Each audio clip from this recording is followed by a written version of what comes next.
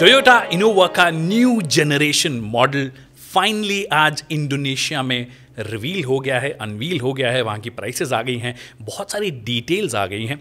भारत में इसका अनवील चार पाँच दिन बाद होगा 25 नवंबर को होगा बट हम उस इवेंट को अटेंड नहीं कर पाएँगे क्योंकि टोयोटा नहीं चाहता है हम अटेंड करें। बट क्योंकि डिटेल्स आ गई हैं तो मैं आपको सारी डिटेल्स और इनफैक्ट वो डिटेल्स जो कि पहली बार आपको इनोवा में मिलेंगी उसके बारे में मैं आपको बताऊँगा। नमस्कार, खमागणी दिव्य सज्जनों। My name is Vikas Yogi. You watching S in studio and here everything that you need to know about the new gen Toyota Innova high cross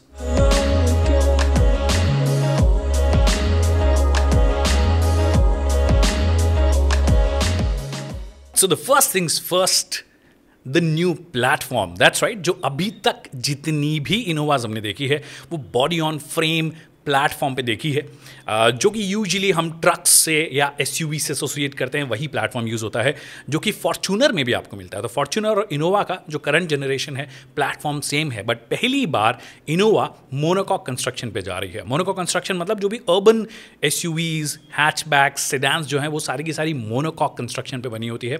तो वो वाली चैसी पे ये बनेगी।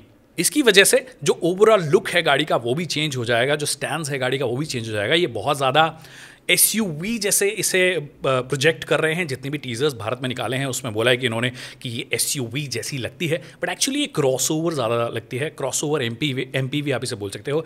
गाड़ी की जो लंबाई है four seven five five M M होने वाली है, पहले से बड़ी है। इनफैक्ट व्हील बेस की अगर आप बात करोगे टू एट फाइव ज़ीरो या two eight five five M M के आसपास होगी तो हंड्रेड एम एम ज़्यादा बड़ा व्हील बेस है।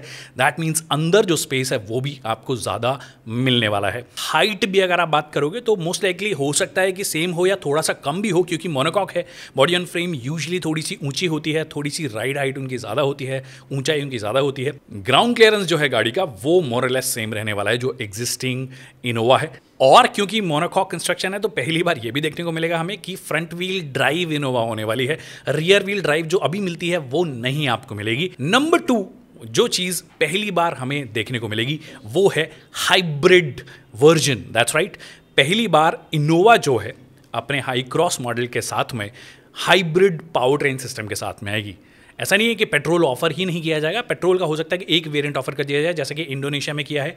दो लीटर का पेट्रोल इंजन है, दो लीटर का ही इंजन है बट उसके साथ में स्ट्रॉन्ग हाइब्रिड सिस्टम मिलेगा, छोटा आपको बैटरी पैक मिलेगा और मोटर जो है, वो जनरेटर वाला काम भी करेगी। दैट मीन्स गाड़ी को स्टार्ट करने से लेकर उसको चलाने में भी मदद करती है तो एक जनरेटर मोटर होगी और एक चलाने में भी उसे मदद करेगी तो दो मोटर वाला सिस्टम आप इसे बोल सकते हो, जिसमें एक मोटर का काम सिर्फ़ उसे मतलब गाड़ी को स्टार्ट करना या फिर जब आप आप रीजेन ब्रेकिंग करोगे तो उस बैटरी को चार्ज करने वाला जो सिस्टम है, वो आपको मिलेगा, जो कि हम होंडा सिटी में भी देख चुके हैं। होंडा सिटी हाइब्रिड जो है, उसमें भी देख चुके हैं। हम हाई राइडर में देख चुके हैं ग्रैंड विटारा क्योंकि सेम ही गाड़ी है तो उसमें भी हम वो चीज़ देख चुके हैं। तो वो सेम सिस्टम होगा, बस इंजन की पावर जो है, वो बढ़ जाएगी। दो लीटर का इंजन है इलेक्ट्रिक पावर है, वो हंड्रेड एंड ट्वेल्व या hundred and thirteen P S मतलब एक सौ ग्यारह से लेकर एक सौ बारह बी एच पी के आसपास होने वाला है। अगर आप इंजन की बात करोगे तो वो alone one fifty six P S that means वही one fifty four B H P से लेकर one fifty five B H P के बीच में होगा। बट ऐसा नहीं होगा कि भैया हाँ इंजन की power 150 fifty hundred thirteen P S दोनों को मिला दो, बहुत सारी पावर हो जाएगी। जी नहीं। जो यूजेबल पावर आउटपुट है, जो कंबाइंड पावर आउटपुट है, जो आप यूज़ कर सकते हो, वो आपके लिए रहने वाली है 186 पीएस जो कि मेरे हिसाब से कहीं भी किसी भी तरीके से कम नहीं होगी। ऑफकोर्स क्योंकि डीजल नहीं है तो टॉर्क जो है, वो इसमें कम आपको नज़र आएगा। 205 या 206 एनएम के आसपास टॉर्क नज़र आएगा बट क्योंकि ईवी सिस्टम है तो आई डोंट थिंक उतना लथार्जिक जैसा फील होना चाहिए बट अगैन वो चलाएँगे, तब उसके बारे में बात करेंगे।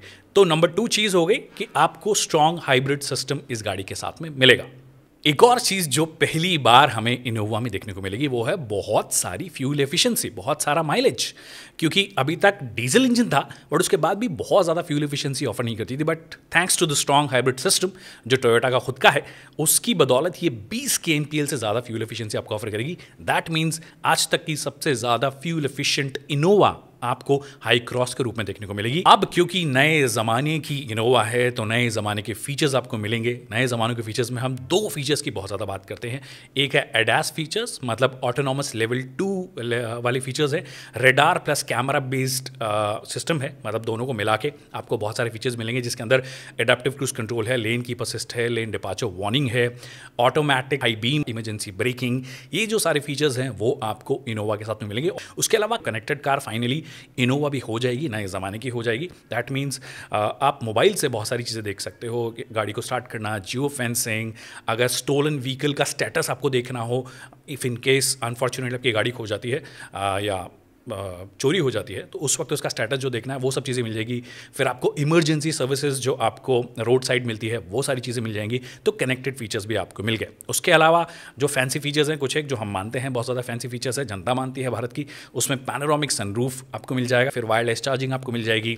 पीछे वाले जो पैसेंजर्स हैं, उनके लिए दो डेडिकेटेड डिस्प्लेज दिए गए हैं स्क्रीन दी गई है दस दस इंच की तो वो एक तरीके से टैब आप बोल सकते हो, दो टैब्स दिए गए हैं, जिसमें आप चाहो तो कुछ फीचर्स एक्सेस कर सकते हो।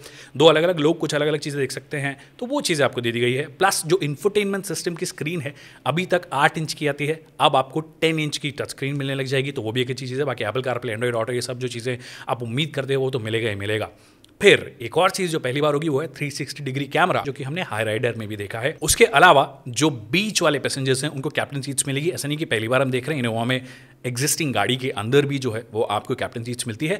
बट जो पहली बार होगा, वो है इलेक्ट्रिकल एडजस्टमेंट आपको मिलेगा। तो आप सीट को एडजस्ट कर सकते हो। Plus ottoman feature that means आपको लेग रूम एक्सटेंड करना है, या जो थाई सपोर्ट जो है, उसको एक्सटेंड करना है। आपका पाँव और ज़्यादा कंफर्टेबली आप रख सकते हो।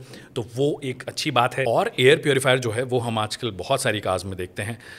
तो वो वैसा आपको यहाँ पे मिल जाएगा। दैट मीन्स एक फ़िल्टर मिल जाएगा। वो कितना इफ़ेक्टिव होता, नहीं होता, ये तो नहीं पता बट एयर प्योरीफायर है। एक और एडिशनल फ़िल्टर जिससे कि आपकी एयर जो है जो कैबिन एयर है, वो ज़्यादा क्लीन आपको मिलेगी।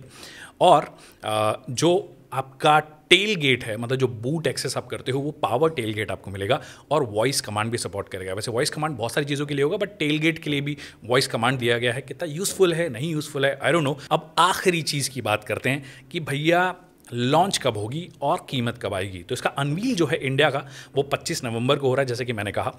लॉन्च जो है वो मुझे लगता है कि first quarter of next year that means 2023 के फ़र्स्ट क्वार्टर में हो सकता है इसे लॉन्च कर दिया जाए। जनवरी में uh, जनता को इसके दर्शन करने को मिलेंगे ऑटो एक्सपो में मतलब पब्लिक डेब्यू जिसे आप बोलते हैं, वो इसका ऑटो एक्सपो में होगा, जो कि जनवरी में स्टार्ट हो रहा है, संक्रांति के आसपास। वहाँ पे इसका पब्लिक डेब्यू होगा और उसके आसपास ही मुझे लगता है कि हो सकता है वहीं पे प्राइस बता दी जाए या हो सकता है उसके आगे, एक दो महीने आगे आपको प्राइस बता दी जाए। तो ये है। बाकी जहाँ तक प्राइसिंग की बात है तो अभी तक कुछ कहना मुश्किल है बट क्योंकि इंडिया में बना रहे हैं लोकलाइजेशन लेवल ये बढ़ा रहे हैं तो मुझे लगता है कि अच्छी खासी प्राइसिंग एटलीस्ट इंडोनेशिया वाला जो मॉडल है, उसके आसपास तो आ जानी चाहिए। इंडोनेशियन मॉडल को अगर आप इंडियन रुपये में सीधे कन्वर्ट करते हो तो वो इक्कीस बाईस लाख रुपए से स्टार्ट होता है इसका पेट्रोल ओनली मॉडल। फिर उसके बाद में जो इसका हाइब्रिड वाला मॉडल है, वो लगभग तेईस चौबीस लाख के आसपास स्टार्ट होता है। तो ऐसी उम्मीद हम यहाँ पे करते हैं। टॉप एंड वेरियंट वही तीस बत्तीस लाख जाने वाला है। तो सस्ती गाड़ी तो डेफिनेटली नहीं होने वाली है कि या कार्निवल वाली जो प्राइसिंग है, हो सकता है वो वाली प्राइसिंग भी हो जाए। अब लोग जिनको डीजल ही चाहिए, कई फ्लीट ओनर्स हैं, उनको डीजल ही चाहिए तो क्रिस्टा का जो डीजल है वो लिमिटेड नंबर्स में बिकता रहेगा। ऐसा ही फॉर्चूनर के साथ में भी होने वाला है।